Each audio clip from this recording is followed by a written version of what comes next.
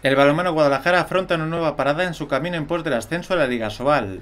Lo hacen en el de Santa María este sábado a partir de las 7 y media de la tarde. Una cita importante de por sí, pero con lo caro que es sumar lejos de casa, cobra aún más trascendencia. Porque los resultados no engañan, e igual que los de Juan Carlos Requena cuentan por victorias sus choques ante su público, el alto nivel de todos los equipos de esta fase de ascenso dificulta sobremanera rascar puntos fuera de casa. Por eso, con el objetivo de seguir ocupando las plazas que otorgan billete directo a la élite, los alcarreños tratarán de sumar dos nuevos puntos ante el Ibiza. Fuera de casa ganar es complicadísimo, ya lo hemos comentado. Eh, sabemos que entre nosotros nos vamos a quitar puntos porque somos equipos muy equilibrados y, mm, sabemos que esto podría ocurrir. Pero bueno, lo importante es que a principio de temporada el objetivo era intentar crear equipo, entrar en el grupo de arriba y si nos dicen al principio de temporada que faltan seis jornadas y que vamos con líderes, pues lo firmamos.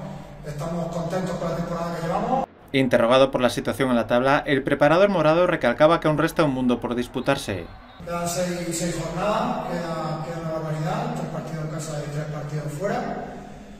Eh, pero es verdad que, que, bueno, estamos ahí con 15 puntos, el, segundo con 14 por debajo, nosotros a 15 y luego ya empiezan a apretar el equipo por debajo con, con 12, quitando al Barça que, que, no puede ascender, como es, eh, como se dice, como es mala son nuestros siguientes dos rivales.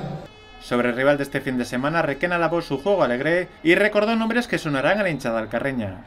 Ibiza es un equipo que está jugando muy bien, para mí de los que mejor manos está haciendo, el equipo de, de mujeres está muy bien preparado, tienen caras conocidas como, como como Alberto Sanz, que son jugadores que han estado aquí en el Sobal y Guadalajara y que los conocemos.